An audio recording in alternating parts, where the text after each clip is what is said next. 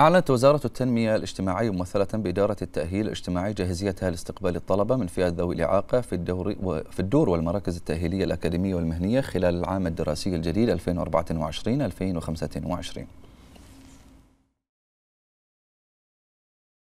مع بداية العام الدراسي الجديد 2024-2025 حرصت وزارة التنمية الاجتماعية ممثلة بإدارة التأهيل الاجتماعي على تجهيز الدور والمراكز التأهيلية الأكاديمية والمهنية لاستقبال الطلبة من فئة ذوي الإعاقة،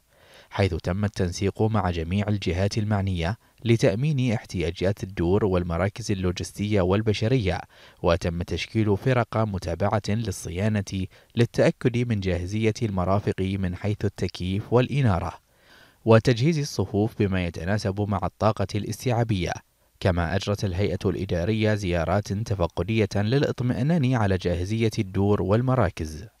هذا واتخذت وزارة التنمية الاجتماعية سلسلة من الإجراءات المهمة منها تجهيز البرامج التأهيلية الأكاديمية والمهنية وإجراء التقييمات اللازمة للطلبة. ووضع الخطط التدريبية الفردية وتوفير الحقائب المدرسية وتنظيم خدمات النقل وتعيين مرافقين للطلبة في جميع الحافلات. بالإضافة إلى ذلك حرصت على تدريب العاملين على كيفية التعامل مع طلبة ذوي الإعاقة من خلال تنظيم ورش عمل ودورات تأهيلية تربوية لتقديم خدمات تتناسب مع احتياجاتهم بأعلى جودة لبدء عام دراسي مليء بالنجاح والتفوق والتميز.